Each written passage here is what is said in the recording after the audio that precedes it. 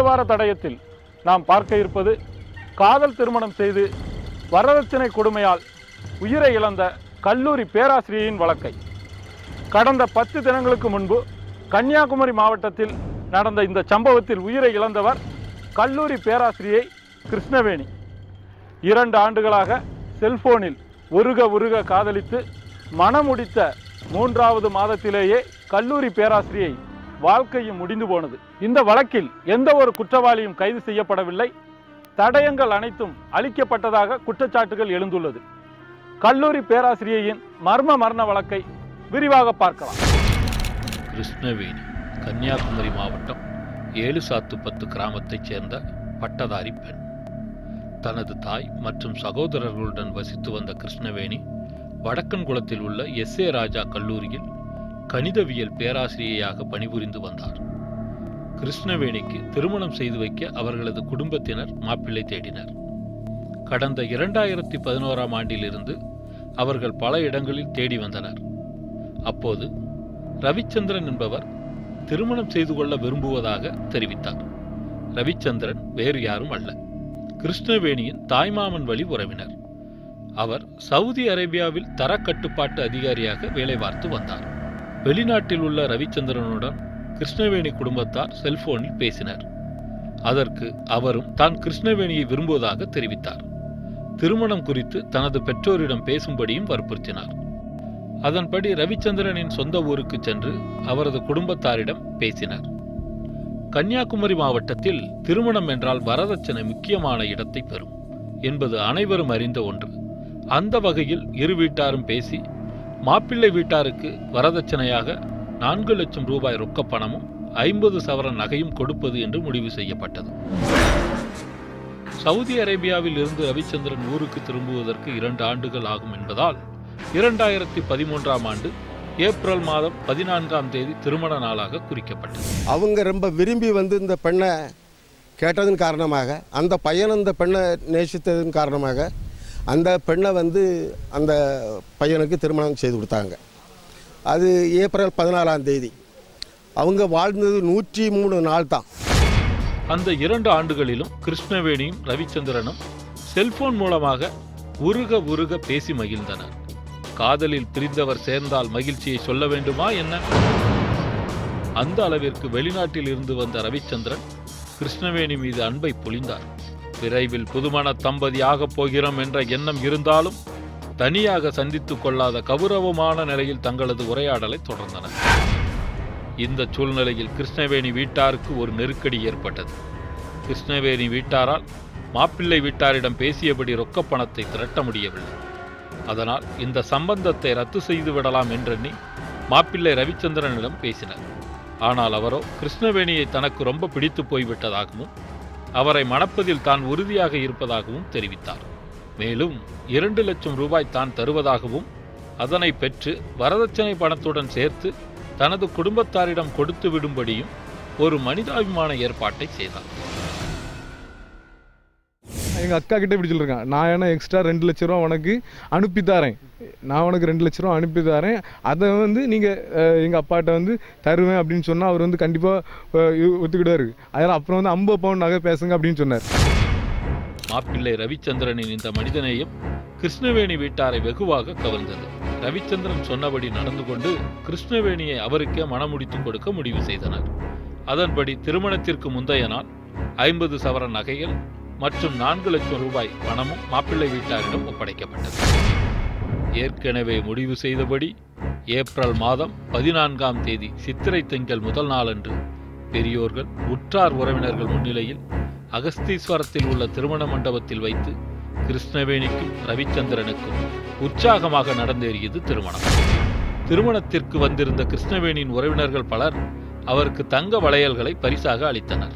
இதன் காரணமாக கூடுதலாக பதினைந்து சவர நகைகள் கிருஷ்ணவேணிக்கு கிடைத்தது. கிருஷ்ணவேணியை மகிழ்ச்சி பொங்க மாப்பிள்ளை வீட்டிற்கு அனுப்பி வைத்தனர். மாப்பிள்ளை வீட்டிற்கு சென்ற கிருஷ்ணவேணிக்கு அடுத்தடுத்து காத்திருந்த அதிர்ச்சிகள் அவரை கதிகலங்க வைத்தது. இங்கேருந்து அவன் எங்கள் அக்கா அங்கே புதுசாக போயிருக்கா. அதை எல்லாருமே வந்து கொடுமைப்படுத்தும் போது யாரால் தாங்க முடியும். மாமனாருக்கு ஒரு காப்பியாம் மாமியாருக்கு ஒரு காப்பியாம் வேற அவருக்கு ஒரு காப்பியாம் மூணு விதமான காப்பியாம் காப்பியிலேயே இவ்வளோ இது பண்ணக்கூடியவங்க சமையலில் வந்து எது பண்ணினாலும் குறையும் பொதுவாக திருமணம் முடிந்து மாப்பிள்ளை வீட்டிற்கு செல்லும் பெண்களுக்கு அங்கு நடக்கின்ற நிகழ்வுகள் புதுமையானதாக இருக்கும். ஆனால் கிருஷ்ணவேணிக்கோ தனது புகுந்த வீட்டில் நடந்த நிகழ்வுகள் புதிராக இருந்தது. அங்கு நடந்த ஒவ்வொரு நிகழ்வுமே அவருக்கு அதிர்ச்சி தரக்கூடியதாக இருந்தது. கிருஷ்ணவேணிக்கு அதிர்ச்சி தரும் வகையில் அங்கு நடந்த நிகழ்வுகள் என்ன? பார்த்திருங்கள் விவரிக்கிறோம். கிருஷ்ணவேணி நிச்சயம் நினைத்திருக்க மாட்டார். மாப்பிள்ளை வீட்டில் இத்தனை அதிர்ச்சிகள் நடக்கும் என்று. அந்த அளவிற்கு அங்கு நடந்த நிகழ்வுகள் அவருக்கு புது புது அச்சத்தையும் அதிர்வுகளையும் கொடுத்தது. முதல் இரவு அன்றே மாப்பிள்ளை ரவிச்சந்திரனின் நடத்தையைக் கண்டு அதிர்ந்து போனார் கிருஷ்ணவேணி. காரணம் ரவிச்சந்திரன் அன்று மது அறிந்துவிட்டு நடந்து கொண்ட விதம். தனது கணவன் குடிகாரனா என்று கிருஷ்ணவேணியை மனம் நொறுங்கச் செய்தது. அதன் பின்னர் உறவினர் ஒருவரது வீட்டில் நடக்கின்ற கோழிச்சோறு பரிமாறப்படும் நிகழ்விற்கு ரவிச்சந்திரன் கிருஷ்ணவேணியை அழைத்துச் சென்றார். அங்கு சென்ற ரவிச்சந்திரன் முன்பின் அறிமுகமில்லாத தனது புது மனைவி கிருஷ்ணவேணியை அங்கேயே அம்போவென்று விட்டுவிட்டு நண்பர்களுடன் சேர்ந்து மது அருந்த சென்று விட்டாராம். அன்று ஆரம்பித்த அவரது அழுகை அவரை கடைசி வரை தொடர்ந்ததுதான் பரிதாபம். நீ கனம கொண்டு வந்தியா? எனக்கு வரதட்சணை நீ குறவு. நான் என் தங்கச்சிக்கு நூற்றி ஒரு பவுன் கொடுத்தேன். நாலுல அஞ்சு லட்சம் கையில் நான் கொடுத்தேன். காரு கொடுத்தேன். எனக்கு இதெல்லாம் நீ கொண்டு வந்தியா? நீ கொண்டு வந்தேனா என்கிட்ட நியாயம் பேசணும் கேட்பான் நாங்கள் அப்போ நான் சொல்லு அவன் வந்து எங்களுக்கு நாங்கள் ரெண்டு லட்சம் தான் கையில் கொடுத்தோம். அவன் ரெண்டு நாலு கூட ரெண்டு லட்சம் தந்து நான் தந்ததாக வெளியே தெரியப்படான்னு சொல்லி ரெண்டு நாலு லட்சம் கையில் ஒப்படைச்சோம். இப்போ அந்த ரெண்டு லட்சமும் வெளியே சொல்லிட்டான். அவ அப்பாட்டையும் அம்மாட்டையும் சொல்லி என்னைய டார்ச்சல் பண்ணியான். அதனால நீங்கள் எப்படியாவது இது பண்ணுங்க. எனக்கு கொ- ரொம்ப கொடூரமாக இருக்குது செல்போனில் இனிக்க இனிக்க பேசியவர் இப்படி நடந்து கொள்கிறாரே என்று குமுற ஆரம்பித்தார் கிருஷ்ணவேணி. ஒரு கட்டத்தில் கிருஷ்ணவேணிக்கு திருமணத்தின் போது தான் கொடுத்த இரண்டு லட்சம் ரூபாய் தொடர்பான விவரம் விவகாரமானது. தங்கள் மகனிடம் பணத்தை பெற்று கிருஷ்ணவேணி வீட்டார் தங்களை ஏமாற்றி விட்டதாக ரவிச்சந்திரனின் பெற்றோர் நினைத்தனர். பேசியபடி வரதட்சணை கொடுக்க முடியாதவள் தானே என்று அவர்களும் தங்கள் பங்குக்கு கிருஷ்ணவேணியிடம் அதிகாரம் செலுத்த அவருக்கு என்ன செய்வதென்றே தெரியவில்லை. எத்தனை முறை திருந்து நல்ல வாழ்க்கை வாழ்கிறாங்க நம்மளும் திருத்திடலான்ற முறையில் தான் நடந்து. இங்கே இப்படி உடனே இவளுக்கு மேலே மேலே அவளுக்கு வந்து ஒரு பெரிய ஒரு டார்ச்சல். திருப்பி இருந்தாலும் கோழியை வாங்கதும் கறியை வைக்கதும் நாள் ஒரு அஞ்சு ஒரு சேர்த்து கூப்பிடதும் இருந்து திங்கதும் குடிக்கதும் நீனும் வேணும்னா எங்கள் கூட வந்து என்ஜாய் பண்ணிக்க வா அப்படின்னு சொல்லதும். தன்னுடைய நிலையை எப்படி யாரிடம் சொல்வது என்று தெரியாமல் தவித்து போனார் இதற்கும் காரணம் இருக்கிறது. தன்னுடைய குடும்பம் ஏழ்மையானது. தந்தை இல்லை தாய் உயிரோடு இருந்தாலும் மனநிலை சரியில்லை. தனது சகோதரர்கள் கஷ்டப்பட்டு கடனை வாங்கி தனக்கு திருமணம் செய்து வைத்திருக்கிறார்கள். மாப்பிள்ளை நல்லவர் என்று உறவினர் ஒருவரின் பேச்சை நம்பி நாம் ஏமாந்து போய்விட்டோமே என்று மனதுக்குள்ளே புலம்பி வந்தான். இந்த பிரச்சனை கணவன் மனைவிக்கு இடையேயான தாம்பத்தியத்தையும் பாதித்ததால் கிருஷ்ணவேணி தனது வாழ்க்கையை எண்ணி தினம் தினம் கண்ணீர் வடிக்க ஆரம்பித்தார் ஒரு கட்டத்தில் ரவிச்சந்திரன் தன்னுடைய வீட்டிற்கே நண்பர்களை அழைத்து வந்து மது அருந்த ஆரம்பித்தார். இந்த சம்பவம் கிருஷ்ணவேணியை கடுமையாக பாதித்தது. ரவிச்சந்திரனின் குடிவெறி கிருஷ்ணவேணியை கடுமையாக வாட்டியது. ரவிச்சந்திரனின் குடும்பத்தாரும் சில பழிச்சொற்களை வீச அது கிருஷ்ணவேணியை வேறு விதமான முடிவுகளை நோக்கி செல்வதற்கு உந்தித் தள்ளியது. கைசங்கிலி ஒன்று காணாமல் போனதுலேருந்து அந்த டைம்ல இருந்து அவங்களுக்குள்ள வந்து இன்னும் அவங்க கோயிலுக்கு வந்தனால தான் வந்து எனக்கு கைச்சங்கிலி வந்து காணாமல் போச்சு அப்படின்ட்டு அந்த இது. அப்புறம் வந்து அது வந்து மை போட போயிருக்காங்க. அது மை போட்டு பார்க்க போயிருக்காங்க. மை போட்டு பார்க்க போன இடத்துல வந்து எங்கள் அம்மாவோட முகம் தெரிஞ்சிருக்கு. தெரிஞ்சதாட்டி ஒரு சின்ன பையனை வச்சு பார்க்க சொல்லுங்க அந்த அந்த பையன் இது வந்து சந்திராமாமி சந்திரா மாமி எங்கள் அம்மா பேர் சந்திரபூபதி. சந்திரா மாமிக்கு முகம் தெரியும் அப்படின்னு சொல்ல அந்த பையன் சொல்லியிருக்கான். அந்த பையன் அப்படி சொன்னதுலேருந்து அது வேற உங்கள் அம்மா தான் எடுத்திருப்பாங்க அப்படின்ட்டு குத்தி எங்கள் அக்கா வந்து குத்தி குத்தி பேசியிருக்கான். வீட்டுக்கு வந்தனால தான் இது காணாம போயிருக்கு. அப்புறம் வந்து உன்னையே நான் வந்து ரெண்டு லட்ச ரூபா தந்து தான் நான் கல்யாணம் பண்ணினேன் அப்படின்னு அந்த அந்த இது. பொதுவாக புதுமண பெண்களுக்கு தங்களுக்கு வரப்போகும் கணவன் எப்படியெல்லாம் இருக்க வேண்டும் என்ற எதிர்பார்ப்புகள் இருப்பது வழக்கம்தான். அப்படி அவர்களின் குறைந்தபட்ச எதிர்பார்ப்பு கூட நிறைவேறவில்லை என்றால் அவர்களின் வாழ்க்கையும் தடமாறிவிடும். அந்த வகையில் கிருஷ்ணவேணி தனக்கு வரப்போகும் கணவன் நல்லவனாக புகைப்பிடிக்காத குடிப்பழக்கம் இல்லாத ஆண்மகனாக இருக்க வேண்டும் என்று எதிர்பார்த்த குறைந்தபட்ச எதிர்பார்ப்பு கூட அவருக்கு கிடைக்கவில்லை. அவரது கனவுகள் அனைத்தும் காணல் நீரானதால் அவர் கண்ணீரில் தவிக்கலானார். அவரை சூழ்ந்த சோக மேகங்கள் அவரை வேறொரு பாதைக்கு இழுத்துச் சென்றது. அதுவும் ஒரு தவறான முடிவை எடுக்க வைத்தது. அவர் எடுத்த முடிவு என்ன? அந்த முடிவினால் ஏற்பட்ட விபரீதம் என்ன? விவரிக்கிறோம் உங்களிடம். ஒரு சிறிய இடைவேளைக்கு பிறகு.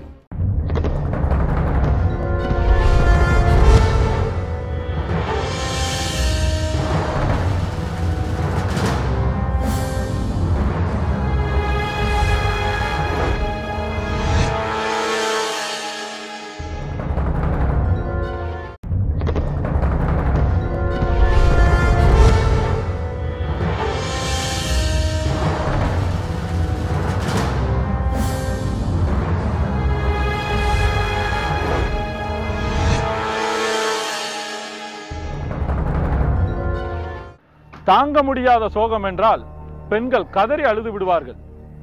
கிருஷ்ணவேணிக்கு தேம்பி அழுவதற்கு கூட கண்ணில் நீரில்லை.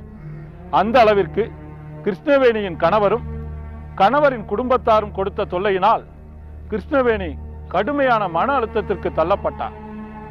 அந்த மன அழுத்தத்தில் அவர் எடுத்த முடிவுகள் அத்தனையுமே தன்னிலை மறந்தவையாகவே இருந்தது. அந்த வகையில் தன்னிலை மறந்து அவர் எடுத்த முடிவு ஒரு மிகப்பெரிய விபரீதத்தை ஏற்படுத்தியது. அது என்ன? தொடர்ந்து பாருங்கள். விவரம் புரியும். அன்று ஜூலை இருபத்தி ஓராம் தேதி கிருஷ்ணவேணி தனது சகோதரர் ஹரிஹரனுக்கு செல்போனில் தொடர்பு கொண்டு பேசினார். அங்கு நடக்கின்ற அவலங்களை எல்லாம் எடுத்து கூறி கதறினார். அந்த வீட்டில் தன்னை வேலைக்காரி போல நடத்துவதாகவும் அதனை நினைத்து தாங்க முடியவில்லை என்றும் வேதனையை கொட்டி தீர்த்தார் கிருஷ்ணவேணி. ஆனால் இவன் வந்து சரியாக வேலை செய்ய மாட்டாங்க அப்படின்ட்டு எங்கள் அக்காவை வந்து அவங்களுக்கு கொஞ்சம் கொஞ்சமாக பிடிக்காம போகுது. அவங்க கல்ச்சருக்கு அவங்க வந்து சேர்ந்துக்கு வீட்டில் அப்பன் மவன் எல்லாரும் சேர்ந்து இருந்து குடிக்கக்கூடிய அப்படி பேட் ஹேபி உள்ள ஃபேமிலி அவங்களுக்கு வந்து எங்கள் அக்கா வந்து க- இணங்கி போகலை அப்படிங்க அந்த காரணத்தினால வந்து எங்கள் அக்கா வந்து அவங்களுக்கு வந்து பிடிக்காம போகுது. கடந்த ஜூலை மாதம் இருபத்தி எட்டாம் தேதி நண்பகல் வேலை அப்போதுதான் நடந்தது அந்த அசம்பாவிதம். ஹரிஹரனின் செல்போன் நம்பருக்கு எஸ்எம்எஸ் என்று சொல்லக்கூடிய குறுந்தகவல் ஒன்று வந்தது. அதனை அனுப்பியவர் கிருஷ்ணவேணி. அதில் இனி வாழ்வதற்கு நான் தயாராக இல்லை. என் உயிரை முடித்துக் கொள்ளப் போகிறேன் என்று குறிப்பிடப்பட்டிருந்தது. கிருஷ்ணவேணி இப்படி ஒரு முடிவை எடுப்பார் என்று ஹரிஹரன் எதிர்பார்க்கவில்லை. இதனை பார்த்து அதிர்ந்து போன ஹரிஹரன் உடனடியாக தனது அக்கால் கிருஷ்ணவேணிக்கு செல்போனில் தொடர்பு கொண்டார். அப்போது தம்பி அது உன்னோட செல்போனுக்கு வந்துருச்சா? நான் அவரை மிரட்டுவதற்காக இப்படி செய்தேன். அது தவறுதலாக உனக்கு வந்துவிட்டது என்று கூறியுள்ளார். எனக்கு நான் தவறான வாழ்க்கையில் மாட்டிக்கிட்டேன். என்னால் வந்து சந்தோஷமாக இருக்க முடியல. நான் வந்து சாக போகிறேன் அப்படின்ட்டு வந்து எனக்கு மெசேஜ் அனுப்பியிருக்கு அப்படின்ட்டு எனக்கு மெசேஜ் அனுப்பியிருக்கேன் நான் அந்த மெசேஜை பார்த்த உடனே நான் வந்து அவளுக்கு திட்டு கொடுக்குறேன். ஏன்னா இப்படி நீ எனக்கு மெசேஜ் அனுப்பியிருக்க அப்படின்ட்டு நான் கேட்டு திட்டு கொடுத்து திட்டு கொடுக்குறேன். அதெல்லாம் அது வந்து உன்னோட அத்தான பயம் காட்டுறதுக்காக நான் அவனுக்கு அனுப்ப போயெல்லாம் மாற்றி உனக்கு அனுப்பிட்டேன் அப்படின்ட்டு. இந்த நிலையில் அன்று மாலை கிருஷ்ணவேணியை தனது காரில் மருத்துவமனைக்கு அழைத்துச் சென்றுள்ளார் ரவிச்சந்திரன். அப்போது மீண்டும் இருவருக்கும் இடையே கடுமையான வாக்குவாதம் வந்துள்ளது. கார் நாகர்கோயில் வடசேரி அருகே வந்து கொண்டிருந்த போது ஆத்திரமடைந்த ரவிச்சந்திரன் கிருஷ்ணவேணியை காரில் இருந்து இறக்கி விட்டுவிட்டு சென்று விட்டார் என்ன செய்வதென்று தெரியாமல் தவித்த கிருஷ்ணவேணி செல்போன் மூலமாக தனது தம்பி ஹரிஹரனை தொடர்பு கொண்டுள்ளார். தன்னை நடுவழியில் இறக்கி விட்டுவிட்டு சென்று விட்டதாக கூறி கண்ணீர் விட்டு கதறியுள்ளார். ஆறுதல் கூறிய ஹரிஹரன் ஏழு சாத்து பத்தில் உள்ள தமது வீட்டிற்கு செல்லும்படி கூறியுள்ளார். மேலும் தான் தற்போது சென்னையில் இருப்பதால் காலையில் வந்து நேரில் அனைத்து விவரங்களையும் பேசி சமாதானம் செய்வதாகவும் கூறியுள்ளார். என்னை சென்னில் அடிப்பான் மண்டையில் அடிப்பான் கையை பிடிச்சி திருக்குவான். மாறி கட்டில் படுத்தா வயிற்றுல சமுட்டியது. அப்படி ரொம்ப டார்ச்சல் என்ன பண்ணியான்னு சொல்லி ரொம்ப அழுதா. வடசேரியில் இருந்து பேருந்து மூலமாக கிருஷ்ணவேணி தனது தாய் வீட்டிற்கு சென்றார். ஆனால் வழியில் விவேகானந்தபுரம் என்ற ஊரில் இறங்கியுள்ளார் கிருஷ்ணவேணி. அவர் அங்கே இறங்கவில்லை என்றால் அவரது வாழ்வில் அப்படி ஒரு நிலை ஏற்பட்டிருக்காது. தப்பு பண்ணாருனாலே எக்கா அவருக்கு ஃபோன் போவாது. அவர் வந்து ஃபோனில் வந்து ஏதோ ஃபார்மேட் ஏதோ சேஞ்ச் பண்ணி அவர் அந்த மாதிரிப்பட்ட டெக்னாலஜி யூஸ் பண்ணி அந்த மாதிரி அவர் அப்படி பண்ணிடுவார். அவர் சீட் அடிக்க போனாலோ இல்லை தண்ணி அடிக்க ஃப்ரெண்ட்ஸ் கூடால சுத்த போனாலோ உடனே அப்படி அந்த மாதிரி. அதாவது ஃபோன் பண்ணால் அவருக்கு ஃபோன் போகாது. அண்ணன் தம்பி நாங்கள் ஃபோன் பண்ணாலும் ஃபோன் போகாது. யார் யார் ஃபோன் பண்ணால் ஃபோன் போகுமான்னு தெரியாது. கிருஷ்ணவேணியின் வாழ்வில் ஏற்பட்ட அதிர்ச்சிகளின் உச்சகட்டமாக அந்த நிகழ்வை சொல்லலாம். திருமணமான நாளிலிருந்தே கணவனாலும் கணவன் வீட்டாராலும் எண்ணற்ற கொடுமைகளை அனுபவித்து வந்த கிருஷ்ணவேணிக்கு அந்த நிலையை ஏற்படுத்தியது யார்? அந்த நிலை ஏற்பட என்ன காரணம்? அனைத்தையும் விவரிக்கிறோம். பார்த்திருங்கள். தாய் வீட்டிற்கு செல்லும் வழியில் கிருஷ்ணவேணி விவேகானந்தபுரத்தில் இறங்கினார் ஆனால் அவர் தனது தாய் வீட்டிற்கு செல்லவில்லை. இதற்கிடையே ஹரிகரன் தனது வீட்டில் உள்ளவரை செல்போன் மூலமாக தொடர்பு கொண்டு கிருஷ்ணவேணிக்கு நடந்தவைகளை கூறி அங்கு வந்து விட்டாளா? என்று விசாரித்துள்ளார். ஆனால் அங்குள்ளவர்கள் கிருஷ்ணவேணி வரவில்லை என்றதும் ஹரிகரம் கடும் பதற்றம் அடைந்தார் ஒருவேளை அக்கால் எஸ்எம்எஸ் தகவலில் சொன்னபடி வேறு ஏதாவது விபரீத முடிவு எடுத்துவிட்டாளோ என்று நினைத்து பதற்றம் அடைந்தார் சென்னையில் இருந்து கன்னியாகுமரிக்கு ரயிலில் ஊர் திரும்பிக் கொண்டிருந்த அவரை கடும் பதற்றம் தொற்றிக் கொண்டது. என்ன செய்வது என்று தெரியாமல் விழித்தார்.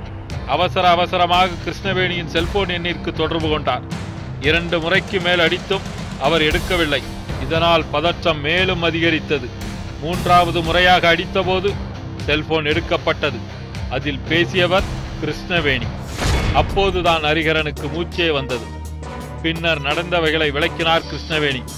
தாய் வீட்டிற்கு செல்வதற்காக பேருந்தில் சென்றபோது நடந்த விவரங்களை தெரிந்து கொண்டு அவரது மாமனார் போனில் கிருஷ்ணவேணியுடன் பேசி சமாதானம் செய்துள்ளார். மேலும் விவேகானந்தபுரத்தில் இறங்கிக் கொள்ளும்படியும் அங்கு வந்து ரவிச்சந்திரன் உன்னை அழைத்து வருவான் என்றும் கூறியுள்ளார். அவர் கூறியபடியே அங்கு இறங்கிய கிருஷ்ணவேணியை ரவிச்சந்திரனின் சகோதரர் தனது இருசக்கர வாகனத்தில் ஏற்றி வீட்டிற்கு அழைத்துச் சென்றதாக ஹரிகரனிடம் நடந்தவைகளை விளக்கினார் கிருஷ்ணவேணி. அதாவது எங்கள் அக்கா வந்து அப்பா பாசத்தை அனுபவிக்க சின்ன வயசுலேயே எங்கள் அப்பா இறந்து போனாங்க. அப்போ சரி அம்மைக்கு வந்து மனநிலை வர சரியில்லை. சரி அப்போ இப்படிலாம் இருக்கக்கூடிய நேரம் வந்து சரி அப் அக்காவுக்கு ஒரு நல்ல ஒரு வாழ்க்கை கிடச்சிருக்கு. அந்த இதில் தான் நாங்களும் வந்து கட்டி கொடுக்குறோம். இந்த நிலையில் அங்கு சென்றதும் ஆளாளுக்கு கிருஷ்ணவேணியை திட்டி தீர்த்ததாக கூறப்படுகிறது. நள்ளிரவு பனிரெண்டு மணி அளவில் ரவிச்சந்திரன் அவரது குடும்பத்தினர் அனைவரும் ஒன்றாக அமர்ந்து மது அருந்தியுள்ளனர். அப்போது கிருஷ்ணவேணி நமது குடும்பத்திற்கு ஒத்து வரமாட்டாள் என்றும் அவளை அறுத்துவிட்டு விட வேண்டும் என்றும் பேசியுள்ளனர். இதனை மறைந்திருந்து கேட்ட கிருஷ்ணவேணி ஹரிஹரனுக்கு உடனடியாக போன் செய்து நடந்த விவரங்களை கூறியுள்ளார். இன்னைக்கு ஒரு நாள் போகிறதுக்காக நைட்டு பன்னெண்டு மணி. அப்போ வந்து இப்போ யாரையும் வந்து டிஸ்டர்ப் பண்ண முடியாது. நான் நாளைக்கு காலத்தை வந்தவொடனே முதல் விளையாட்டு ஒன்று வந்து நான் கூட்டிட்டு போயிடுவேன் நீ வந்து அது வந்து லூஸ் மாதிரி அதை மாதிரி முடிவு எடுத்துடக்கூடாது என்ன மெசேஜில் அனுப்புன மாதிரி இந்த மாதிரி போய்ட்டா முடிவு எடுக்கக்கூடாது அதுக்காக சொல்ல நான் அப்படி இருக்கிற கோலத்தனமெல்லாம் முடிவு எடுக்க மாட்டேன். அப்படின்னு என்கிட்ட சொல்கிறான் மறுநாள் காலையில் ஹரிஹரன் ஊருக்கு வந்து தனது அக்காளுக்கு மாப்பிள்ளை வீட்டில் நிகழ்ந்துள்ள கொடுமைகள் குறித்து வீட்டில் உள்ளவர்களிடம் விவரித்துக் கொண்டிருந்தார் அப்போது செல்போனுக்கு அழைப்பு ஒன்று வந்தது. அதில் பேசியவர் கிருஷ்ணவேணியின் மாமனார். உங்கள் சகோதரி கோபித்துக் கொண்டு கதவை பூட்டிக் கொண்டு திறக்க மாட்டேன் என்கிறாள். உடனே வாருங்கள் என்று கூறியுள்ளார் ஹரிஹரன் தனது அண்ணன் ரவியுடன் தனது அக்கால் வீட்டிற்கு சென்றுள்ளார் அங்கு சென்று பார்த்தபோது கடும் அதிர்ச்சி காத்திருந்தது. பூட்டியிருக்கும் அறையின் வெளியே அத்தனை பேரும் வேடிக்கை பார்த்தபடி நின்று கொண்டிருக்க போன வேகத்தில் கதவை உடைத்து கொண்டு இருவரும் உள்ளே சென்றனர். அறையின் கதவை உடைத்து கொண்டு உள்ளே போய் பார்த்தால் தாங்கள் ஆசை ஆசையாய் மனம் முடித்து அனுப்பி வைத்த சகோதரி கிருஷ்ணவேணி தூக்கில் தொங்கியபடி மனமாக கிடந்தார் அவரை இறக்கி பார்த்தபோது நீண்ட நேரத்திற்கு முன்பே அவர் இறந்து போயிருப்பது தெரிய வந்தது. அப்போ நாங்களே ஏதோ உள்ள பிரச்சனை தான் நடந்துட்டு இருக்கு பிறகு நீட்டு ஓடி போய் கதவை தட்டுறோம். தட்டி வேணி வேணி கதை தரோனி அப்போ பக்கத்தில் பின்னால் இருக்கவங்களும் ஏ உங்கள் அண்ணன் வந்திருக்கான் கதவை தர கதை தர அப்படிங்கிறாங்க.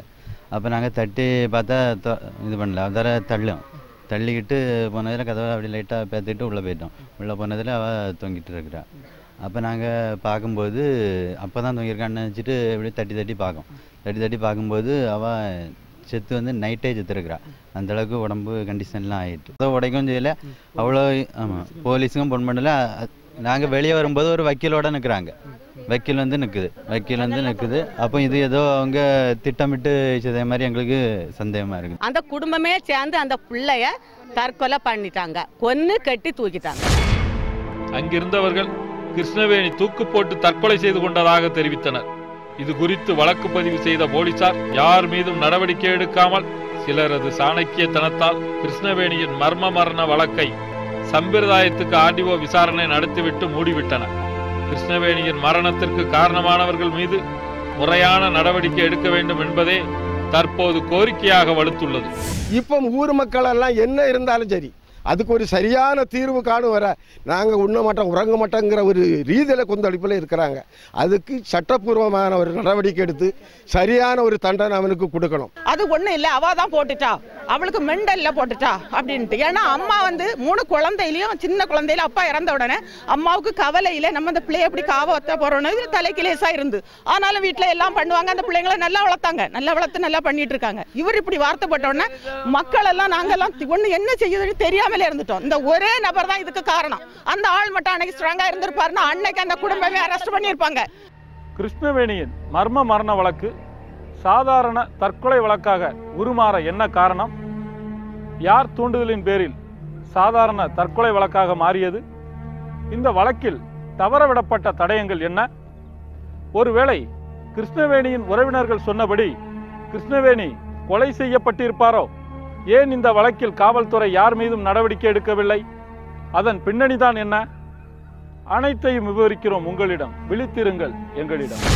கிருஷ்ணவேணி வீட்டிற்குள் சென்று கதவை பூட்டிக் கொண்டார் என்றதுமே அவசரப்பட்டு சகோதரியின் மேல் உள்ள பாசத்தின் காரணமாக அவரது சகோதரர்கள் இருவரும் சென்று கதவை உடைத்து சடலத்தை இறக்கியது இந்த வழக்கில் நடந்த மிகப்பெரிய தவறாக பார்க்கப்படுகிறது.